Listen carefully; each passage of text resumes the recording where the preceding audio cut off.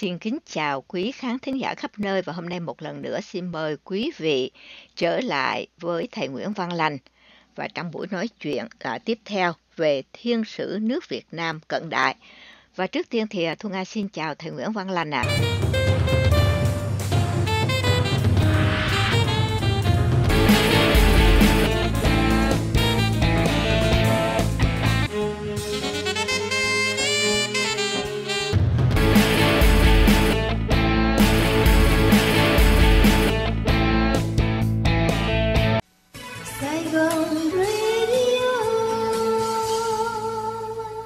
This is KBDT from Highland Park, Texas. Vì vậy cho nên là nói trước thì chúng ta sẽ thấy rất là hay à, và mà sẽ thấy chính xác hay không. Còn chờ tới khi bầu cử nói thì không hay cho nên ngay cái giây phút này xin uh, chào thầy Nguyễn Văn Lành đã trở lại với làn sóng Sài Gòn Dallas 1160 AM. Xin chào thầy ạ. À. Xin chào cô Thu Nga quý vị khán thính giả đang nghe đài. Dạ vâng, à, hôm nay mà thấy à, thấy vui thấy anh à, trở lại đài là cũng mừng lắm rồi và kính chào quý vị khán thính giả đang nghe đài. Hôm nay là ngày 20 tháng 10 của cái năm 2024. Chúng tôi xin trở lại để trình bày cùng quý vị cái nồi tình của nước Mỹ trong thời điểm hiện nay đang rối ren trên chính trường với ba nhân vật tuần từ xuất hiện. Từ trước đến nay, cái thiên sự của nước Mỹ chúng tôi đã đề cập đến Donald Trump.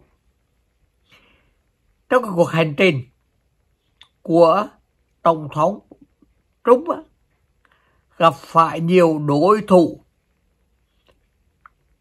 quan trọng là Joe Biden với cái thiên mệnh tam niên bất nhịn hùng.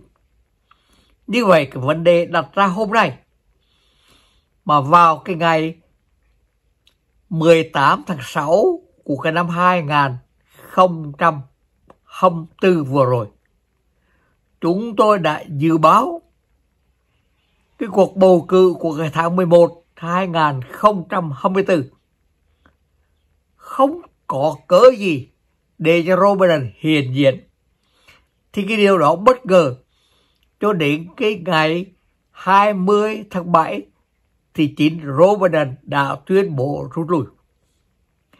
Một, một cái bia hiện tượng gây sóng động nhất kế tiếp là Kamala Harris.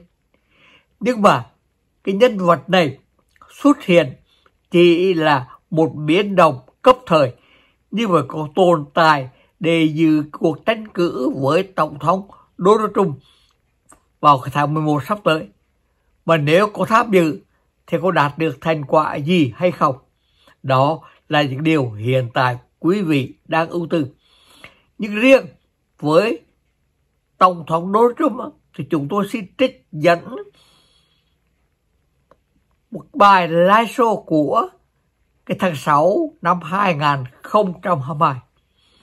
Chúng tôi đã báo động trước Trung sẽ thoát chết, rồi mới đi vào con đường chiến thắng. Hôm nay xin mời quý vị xem lại cái live show này để thấy rằng mọi chuyện nó sẽ hiện thực. Dạ, của cái năm 2022 chúng tôi xin tại ngộ cùng với vị từ tháng 10 của cái năm 2020 còn một tháng nữa là đến bầu cử về kỳ hạn của tổng thống liên tục chúng tôi là nhà nghiên cứu. Căn cơ trên cụ thư căn cơ trên tử vi tử số căn cơ đặc biệt cái đời tiên tri của mỗi tuần cách đây năm trăm năm. Chúng tôi tổng hợp tất cả để đưa đến một cái kết luận mà có thể nói chắc lúc bây giờ là trung phải thua rồi mới thành vì trung sự chết hơn là lo thuộc thì con câu đó cho đến bây giờ chúng ta mới tìm được cái câu trả lời. Thì bao giờ tổng thống Trung đã thua thì bao giờ phải cho đến thời điểm này tổng thống đã khóa chết chưa đó là cái điều mà mọi người đang ung tư ung lo mong cầu cái điều đó, nó đã hiện thực. Vào cái ngày 13 tháng 7 2024 Tổng thống Đôn Rung đã thoát chết trong gan tật trong tích tắc. Take a look what happened.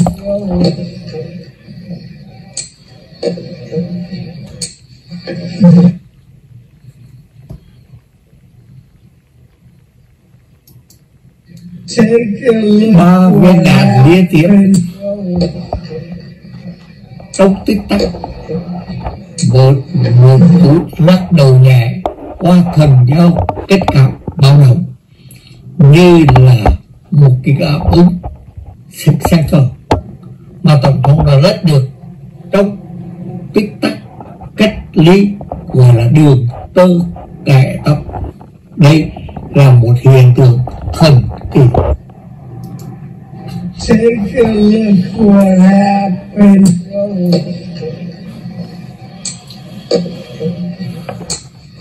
Oh.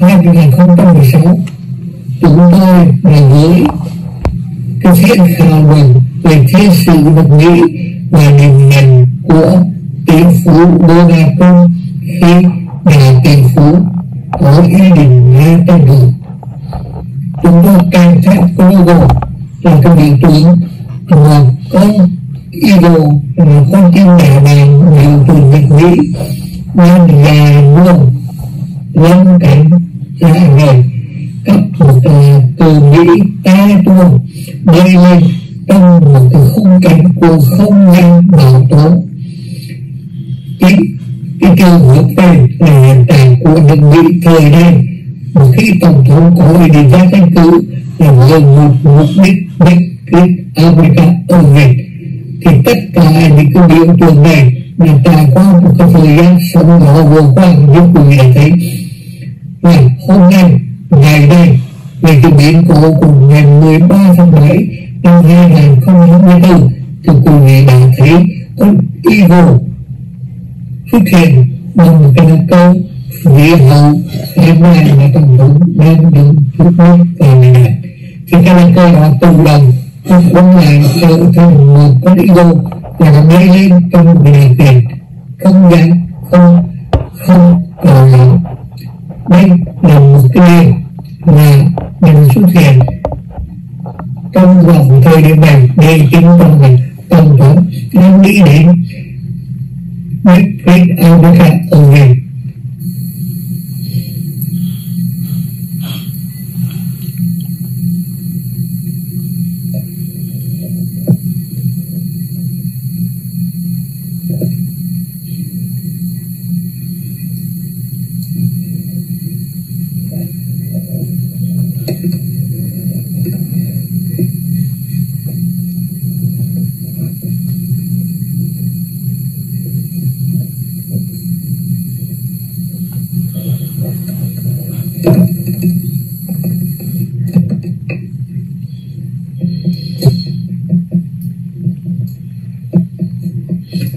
cái dòng chữ của một ký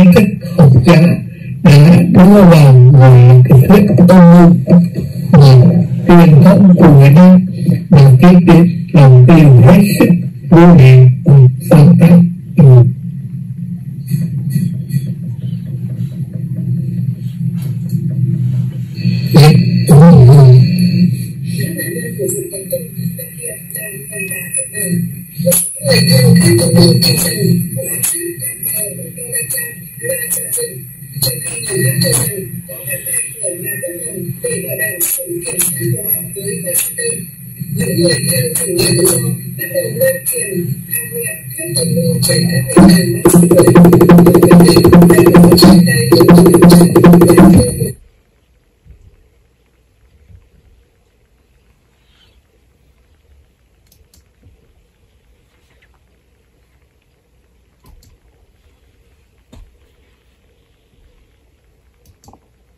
nói ra sân khấu trên hội đồng phụ nữ ra cuộc bầu nhé có lẽ do sở nội vụ phối hợp với chiến dịch tranh cử của ông trump phân cảnh ông trump đặt tay bó xuân hành động dưới lá cờ bỉ là gia đình hội nội vụ đã tạo ra một hiện tượng có tên là blue ocean một vở kịch dựa trên các âm để tập quyền các các âm mưu tự do trên mạng trên mạng xã hội tài khoản trước sự sự và bản tin ủng hộ ông Trân và chứa chấm huy tất cả vụ nổ súng và một nỗ lực hành quyết thất bại của các đảng viên đảng dân chủ mờ ám hoặc là công việc nội bộ của nhà nước hồng để bảo vệ sự kiểm soát của họ đối với Washington.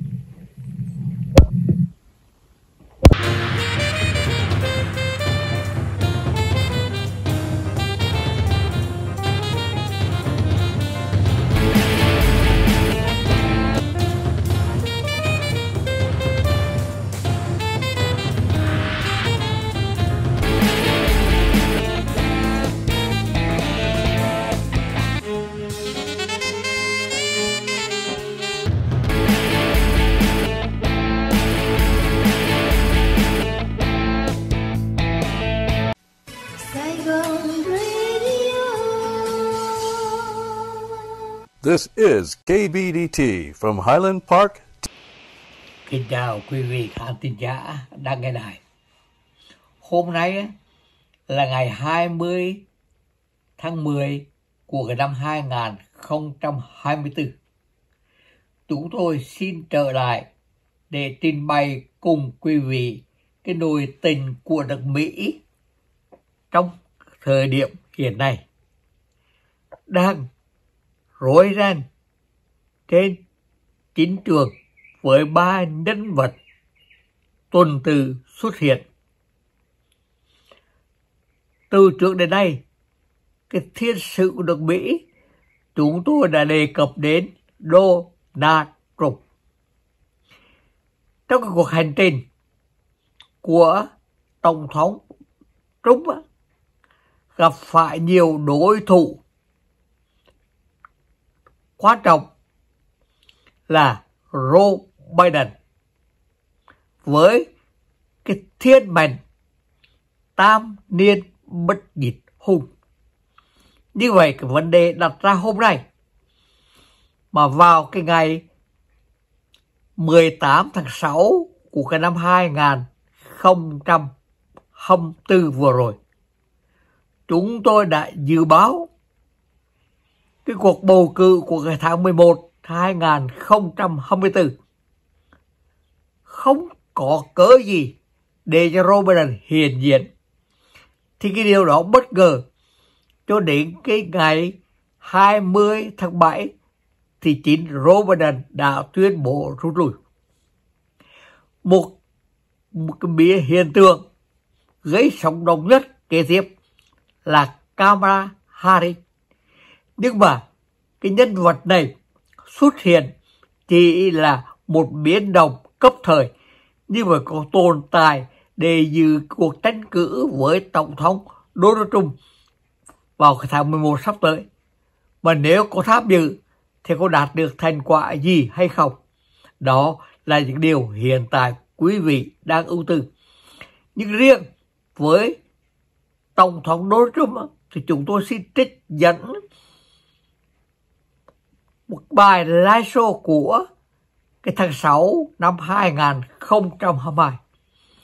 Chúng tôi đã báo động trước Trung sẽ thoát chết, rồi mới đi vào con đường chiến thắng. Hôm nay, xin mời quý vị xem lại cái live show này để thấy rằng mọi chuyện nó sẽ hiện thực.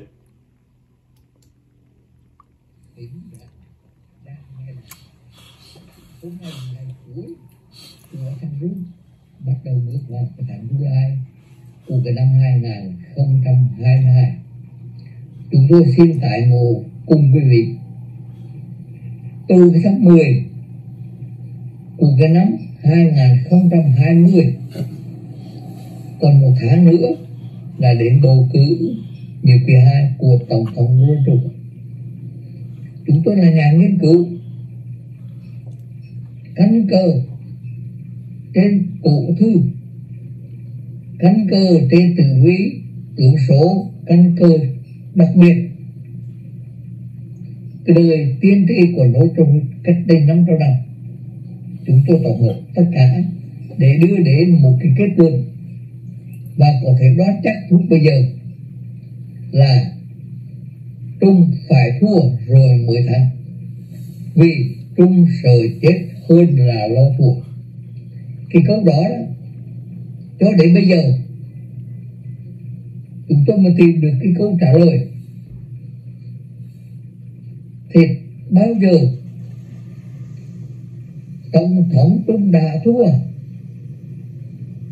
Thì bao giờ thắng cho đến thời điểm này tổng thống đã thoát chết chưa? Đó là cái điều mà mọi người đang ưu tư, ưu lo, mong chờ. Cái điều đó, nó đã hiện thực. Vào cái ngày 13 tháng 7 2024 Tổng thống Donald Trump đã thoát chết trong gang tật trong tích tắc. Take a look what happened.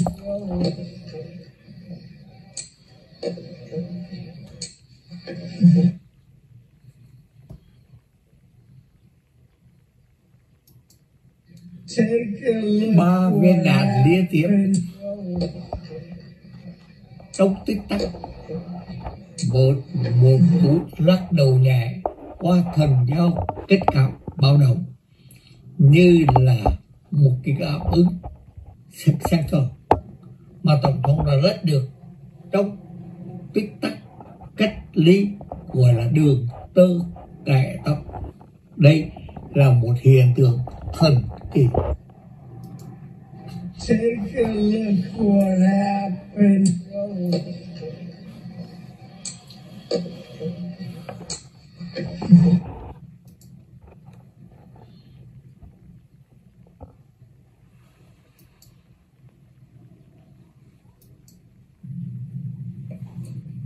Từ 2016 chúng tôi đã gửi cái phiên khảo luận về thiên sử nước Mỹ và định mệnh của tỷ phú Donald Trump khi nhà tỷ phú có ý định ra tranh cử.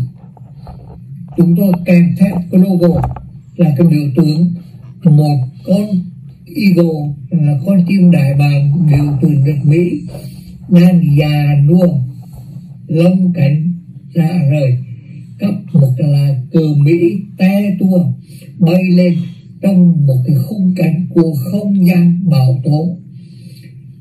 Chính cái trường hợp này là hiện trạng của nước Mỹ thời nay, mà khi tổng thống có ý định ra tranh cử là với một mục đích make great America again thì tất cả những cái biểu tượng này là trải qua một cái thời gian sóng gió vừa qua như quý vị đã thấy và hôm nay, ngày nay, về cái biến cố của ngày 13 tháng 7 năm 2024 thì quý vị đã thấy con Eagle xuất hiện bằng một cái lá cờ phía hậu khán đài mà tổng thống đang đứng chút mít vào bị đạn. Thì cái lá cờ đó tự động nó quấn lại trở thành một con eagle và nó bay lên trong một điều kiện không gian không không có gió đây là một cái điều là mà nó xuất hiện trong vòng thời điểm này để chứng tỏ rằng tổng thống đang đi đến Make Great America Again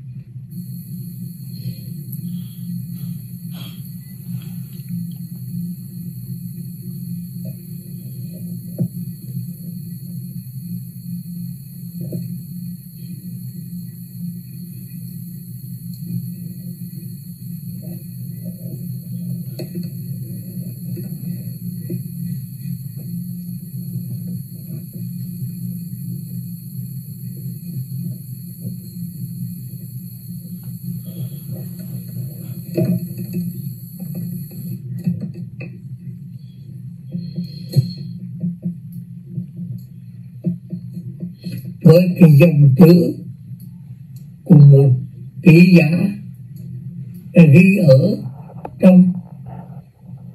thế này, gọi là look ơn an angle gần như là một cái điều chứng sẽ hiện thực để cho tổng thống hóa thành linh thần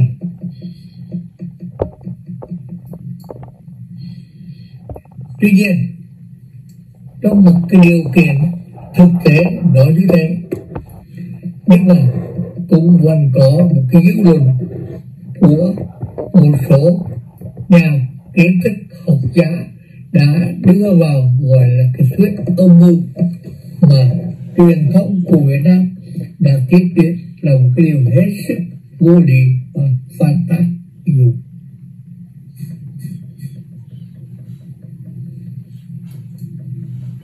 thuyết âm mưu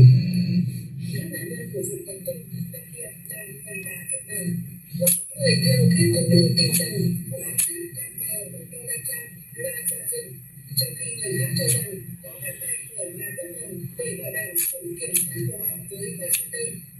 Người theo chủ nghĩa tự do bắt đầu lan truyền hàng loạt các âm mưu trên các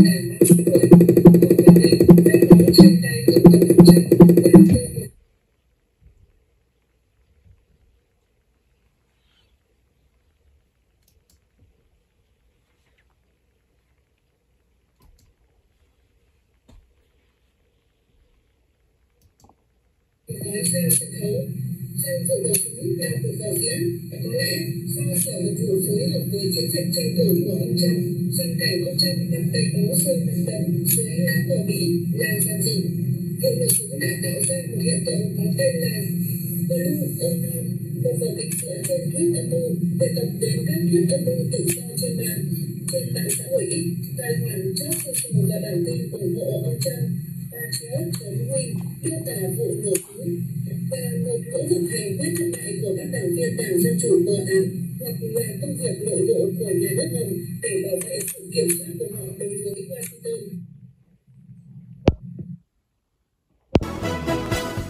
Radio Sài Gòn Dallas Đài phát thanh đáp ứng mọi nhu cầu thông tin và thương mại của người Việt tại vùng Dallas Fort Worth. và trên mạng lưới internet toàn cầu ở địa chỉ www.saigon.dallasradio.com.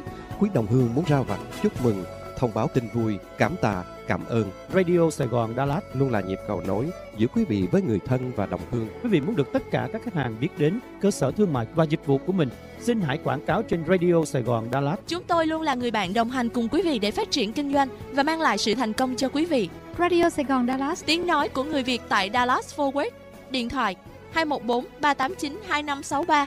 214 389 2563 214 389 2563. Kính thưa quý cử tri, trong các cuộc bầu cử thì cần một vài lá phiếu có thể phân thắng bại.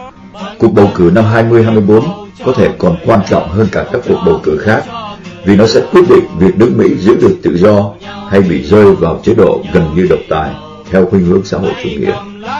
Nếu chúng ta muốn đất nước Hoa Kỳ giàu, mạnh, dân chủ, nhân quyền, kiểm soát di dân bất hợp pháp, bảo đảm an ninh biên giới và giảm được nạn lạm phát, thất nghiệp cao, đồng thời có kế hoạch hiệu quả để đối phó với việc xâm nhập và ảnh hưởng của Trung Cộng, thì hãy cùng nhau dồn phiếu cho Tổng thống Donald Trump, Thượng nghị sĩ Ted Cruz và tất cả các ứng cử viên thuộc Đảng Cộng Hòa.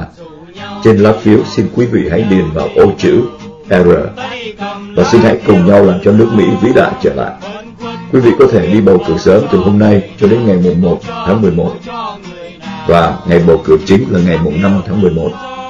This political ad pays by the Vietnamese American Conservative Alliance và nhà xuất bản Cloverleaf Publishing. Trong các cuộc bầu cử thì cần một vài lá phiếu có thể phân thắng bại.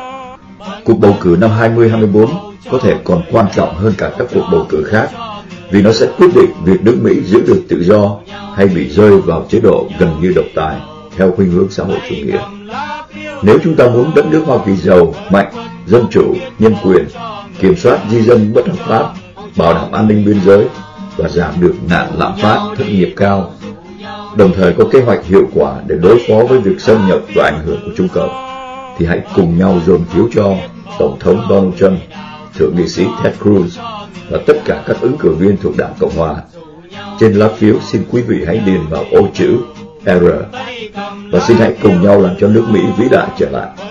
Quý vị có thể đi bầu cử sớm từ hôm nay cho đến ngày mùng 1 tháng 11 và ngày bầu cử chính là ngày mùng 5 tháng 11.